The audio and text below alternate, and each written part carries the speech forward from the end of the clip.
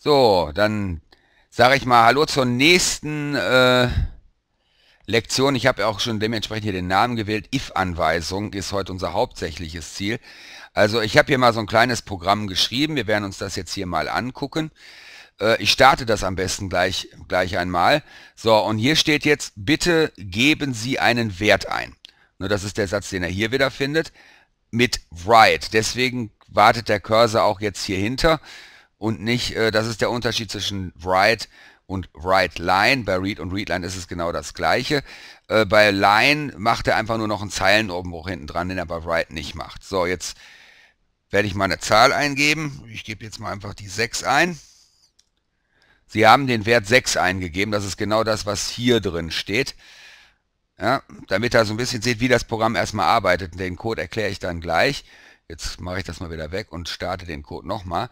Jetzt werde ich mal äh, einen Wert eingeben, der kleiner ist. Und jetzt sagte der von Ihnen eingegebene Wert ist zu klein. Das ist genau die Anweisung, die hier unten hier drin steht. Und jetzt machen, starten wir das Programm noch einmal.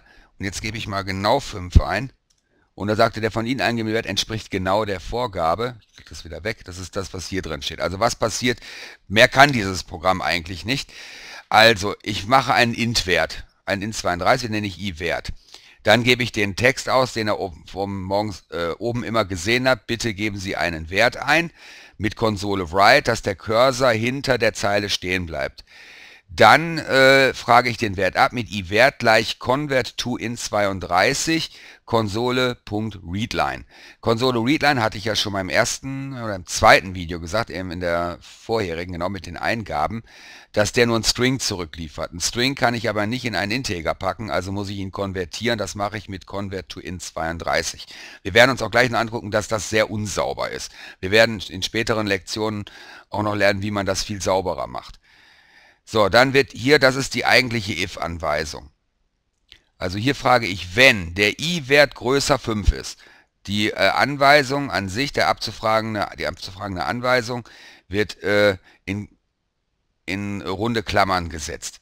Dann kommen hier so geschwungene Klammern. Bei dem wenigen, was man jetzt hier macht, ein, zwei Zeilen, bräuchte man die eigentlich nicht. Kann man es auch ohne machen. Ich mache es immerhin, ist ein schönerer Stil.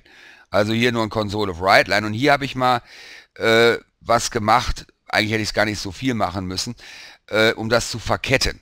Ja, mit Plus kann ich halt Strings miteinander verketten. ToString habe ich jetzt hier mal reingenommen, müsste ich eigentlich auch nicht. Das macht er eigentlich auch ohne ToString.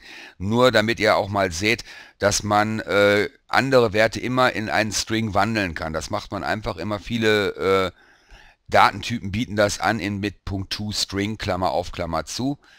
Ne, hier else, dann kommt der else-Block, also wenn das jetzt nicht stimmt, dann springt er hier rein. Und in else-Block kann ich leer lassen, also sprich hier äh, einfach nur else, oder ich kann ihn hier auch mit einem if verbinden und hier frage ich halt nochmal speziell ab, ob der Wert gleich 5 ist und hier steht der else-Block halt nochmal alleine, als wenn der Wert zu klein ist. Dieses Konsole readline äh, ist einfach nur da, um die Konsole offen zu halten. Sonst würde die sich nach dem, nachdem er die Auswertung gemacht hat, das ange angezeigt hat, die Auswertung, also das Ergebnis der Auswertung, würde er sich sofort wieder schließen.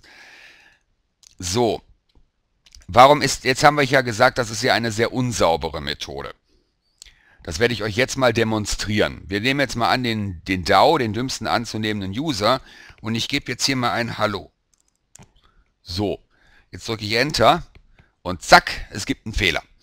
Warum ist dieser Fehler? Der Fehler ist jetzt, ich habe jetzt versucht, Buchstaben in einen Zahlen, eine Zahlenvariable reinzupacken. Das, das steht hier auch. Äh, die Eigengabezeichen hat, die, hat das falsche Format. Das ist jetzt die Exception. Ähm, ja, das ist natürlich jetzt, gut, wir sind jetzt noch im Compiler, aber ich zeige euch jetzt mal, wie das aussehen würde, wenn ich das jetzt mit dem normalen Programm machen würde, ohne den Debugger damit ihr das auch mal seht, wie das so aussieht. Ihr könnt nämlich, immer wenn ihr hier oben was debuggt, außer ihr macht jetzt hier äh, Steuerung und F5 starten ohne Debugging, dann nicht, aber wenn ihr, sobald ihr das Debugging startet, komm, äh, generiert ihr eine Exe-Datei und die findet ihr jetzt wie folgt. Ja, ihr müsst jetzt halt eben auf euren eigenen Dokumente-Ordner gehen, auf Visual Studio, Projects, ja, dann müsst ihr hingehen, if-Anweisung, hieß unser Programm, if-Anweisung. Dann gibt es hier eine bin und hier eine debug. Und hier oben ist eine Anwendung, nicht hier unten if-Anweisung äh, VS, sondern einfach nur die if-Anweisung. Und wenn ich die jetzt ausführe, kann ich das Programm auch ausführen, seht ihr? Und wenn ich jetzt hier Hallo eingebe und mache Enter, ja, dann macht er nämlich hier so ein Fenster hin. Ne, die if-Anweisung funktioniert nicht mehr. Ich sage jetzt mal einfach Programm schließen. Wir könnten jetzt Windows nach, nach einer Lösung suchen lassen, aber das ist ja jetzt Quatsch. Dann kommt zu solchen hässlichen, also das müsste ich, wenn ich das so mache, um mich gegen Fremdeingaben zu schützen, müsste ich eine sogenannte Try-Catch-Routine noch schreiben. Keine Sorge, das machen wir noch später, nicht jetzt. Ne, aber so ist es eigentlich eine, unsauber, eine einfache, aber unsaubere Art, das zu konvertieren. Ihr könnt das zwar konvertieren, ihr seid aber auf Gedeih und Verderb dem Anwender ausgeliefert, dass diese Eingabe hier, äh, die er macht, auch wirklich eine Zahl ist. Ne? Wenn er dann Buchstaben eingibt, habt ihr schon verloren. Das kann man dann wiederum hier in so ein, ja, so ein Try ist quasi nichts anderes, als dass ich jetzt hier, zack, äh, so ein Try drumrum mache und noch Catch und auch in geschwungene Klammer reinschreibe, was er denn machen soll, wenn da jetzt ein Fehler auftritt. Dann könnte ich jetzt zum Beispiel sagen, ja, dann wiederhole das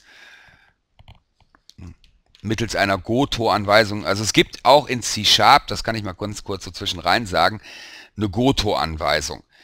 Äh, da könnt ihr hier auch so ein Label setzen, nicht zu verwechseln mit den Labels, die wir noch in Form behandeln. Äh, das ist jetzt, was weiß ich, den Namen und einen Doppelpunkt. Dann könnt ihr im Programm hin und her springen, wenn er diese Labels anspringt. Einfach Goto und Namen des Labels dahinter mit, getrennt durch Leerzeichen. Allerdings, das ist ein ganz schlechter Stil. Das sollte man eigentlich in den Hochsprachen nicht machen. Ich habe es jetzt nur mal erwähnt, nicht, dass er sagt, ja, da ist ja nicht alles vollkommen, das hat er nicht erwähnt. Also das gibt es auch, man sollte es nur nicht machen. So, das ist jetzt die if-Anweisung. Und äh, als nächstes äh, wollte ich mit euch äh, die äh, Switch-Case-Anweisung machen. Äh, das ist so ähnlich wie die if-Anweisung. Allerdings äh, der Unterschied ist, ist, ist sauberer zu implementieren. Also implementieren ist Code, Code einzugeben, zu programmieren. und weil es da halt eben die Einzelwerte und nicht Wertbereiche abfragt. Wir haben ja jetzt hier, äh, bis Ausnahme von von unserem else if ja immer nur Bereiche größer 5. Ich hätte auch eine 100 eingeben können, dann hätte er auch noch den ersten Satz gebracht. Mit Switch Case kann ich genau sagen, wenn das 5 ist. Alles, was man, wenn das jetzt dann zu kompliziert ist, alles, was man mit Switch Case machen kann, kann man natürlich auch mit einer if-Anweisung oder mit mehreren verschachtelten if-Anweisungen lösen. Nur eleganter geht es halt mit der Switch Case. Ich möchte euch nicht vorenthalten. Also dann bis dann. Ciao.